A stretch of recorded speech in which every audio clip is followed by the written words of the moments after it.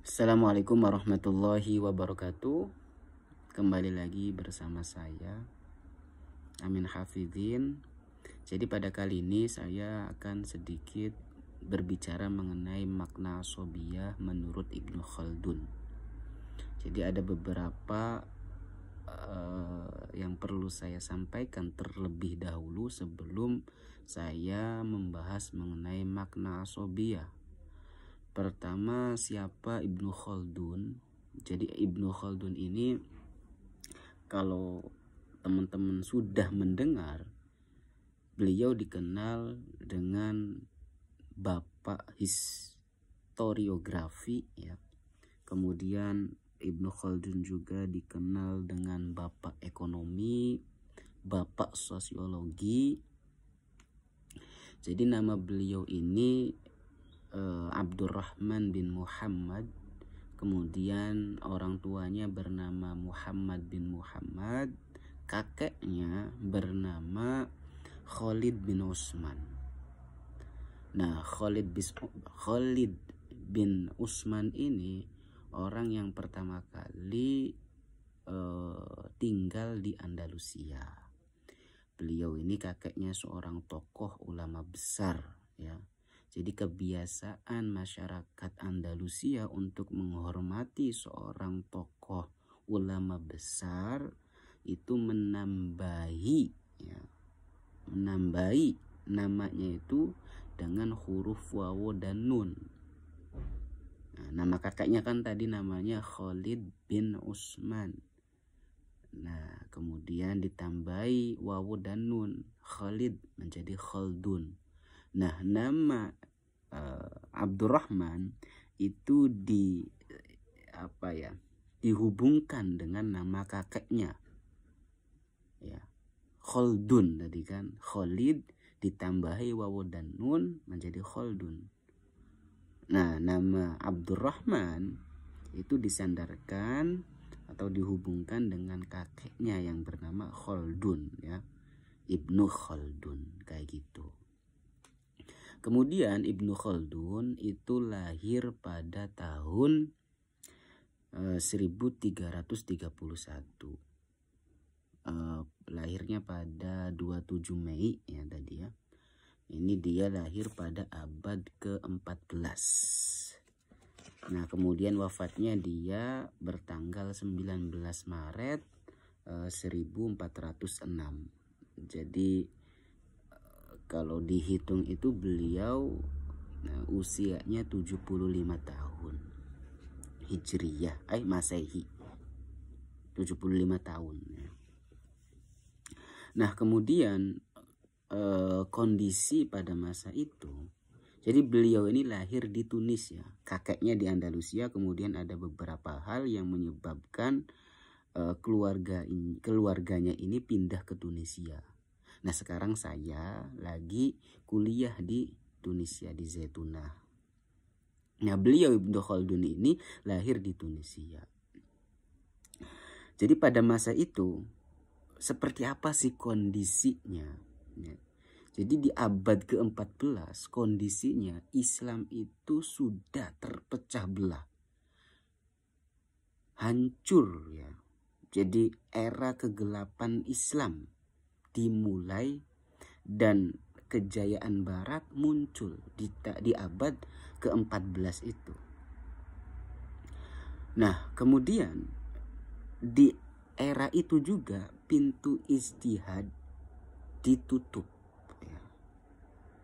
Artinya ketika pintu ijtihad itu ditutup, orang-orang meyakini bahwa tidak diperkenankan lagi untuk ya yang membuat ijtihad baru jadi mereka hanya mengandalkan mengikuti madhab-madhab yang sudah ada. Jadi mereka dipersilakan untuk memilih mengikuti madhab yang mana. Madhab Maliki, madhab Syafi'i, Hanafiyah, Hanabila. Jadi pada masa pada abad 14 itu ilmu pengetahuan sudah tidak berkembang lagi. Nah, tapi di era itu terkenal dengan mensarahi kitab ya. Jadi ulama-ulama pada masa itu mensarahi kitab yang sudah ada. Kemudian yang sarahan itu disarahi lagi menjadi hasiah. Yang hasiah disarahi lagi, ditaklik, dikomentarin lagi. Dari satu sisi inisiatif ya. Tapi dari sisi yang lain, sisi sisi yang lain ya tidak apa ya tidak membuat karya yang baru artinya ya. Nah, kemudian beliau Ibnu Khaldun ini menulis kitabnya yang monumental ya yaitu kitab Al-Muqaddimah. Jadi di sini ada beberapa banyak beberapa jilid. Kitabnya ini e, namanya Al-Ibar wa Diwanul Mubtada wal Khabar fi Ayamil Arab wal Ajam wal Barbar wa man asarahum min dawil Sultanil Akbar. Nah, jadi ini 6 menit ya berbicara sedikit mengenai siapa Ibnu Khaldun, kelahirannya. Jadi beliau juga Ibnu Khaldun ini mulai serius aktif menulis itu di usia 40 tahun. Jadi sebelumnya itu beliau sudah aktif ya berkarir di politik sebelum usia 40 tahun ini. Beliau ini meninggal wafat di e, Mesir ya, lahir di Tunis, meninggal di Mesir. Nah, kemudian kita masuk di Asobia. Jadi Asobia ini sekarang di Tunis itu lagi tren. Kenapa? Karena e, Gus sendiri yaitu apa ya membuka kajian membaca kitab Muqaddimah yang sekarang sudah memasuki pada pembahasan asobiyah.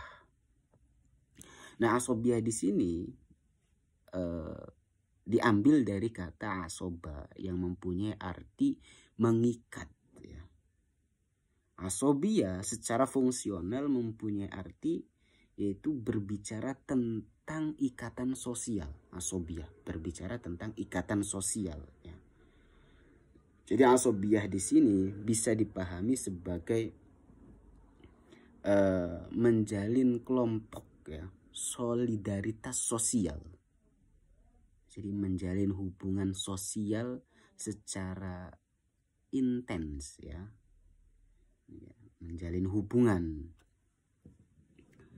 Nah, kemudian Ibnu Khaldun sendiri uh, asobia yang beliau teorikan itu memiliki dua makna.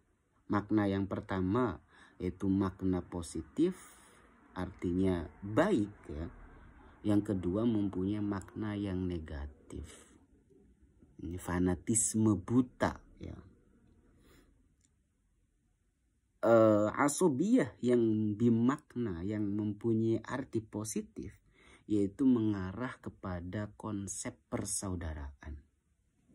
Jadi mengarah pada konsep persaudaraan.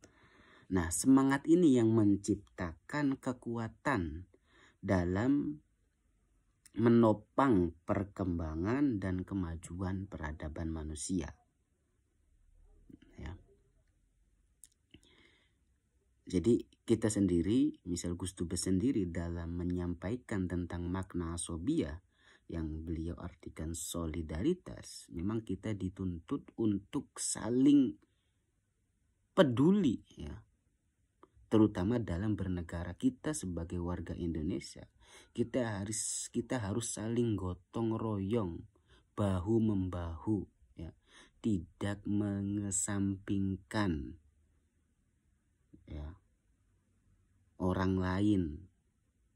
Kita dituntut harus mempunyai solidaritas yang kuat kepedulian sosial. Itu yang dikehendaki makna asobia secara positif.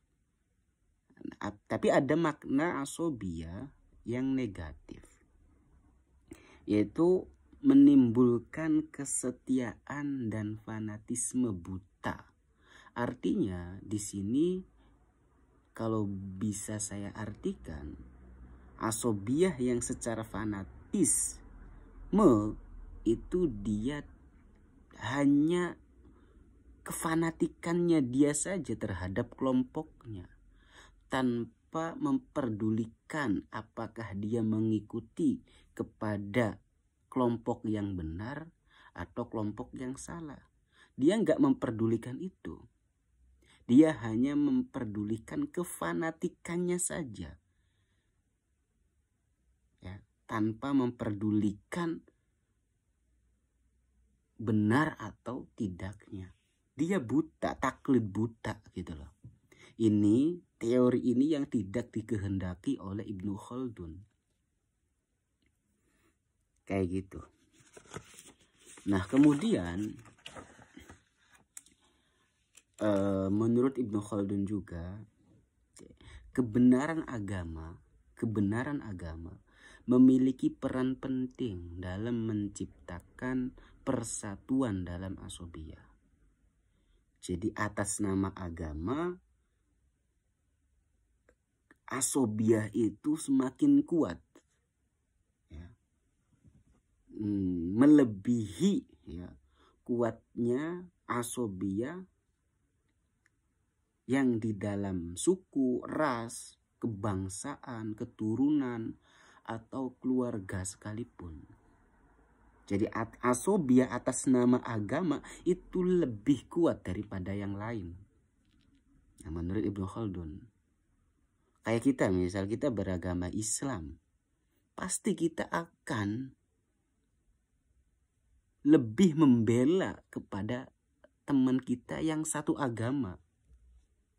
Nah, di sini Ibnu Khaldun mau menekankan asobiah dalam beragama itu itu lebih kuat daripada asobiah yang di luar daripada agama seperti ras, suku tadi, kebangsaan, keturunan dan lain sebagainya.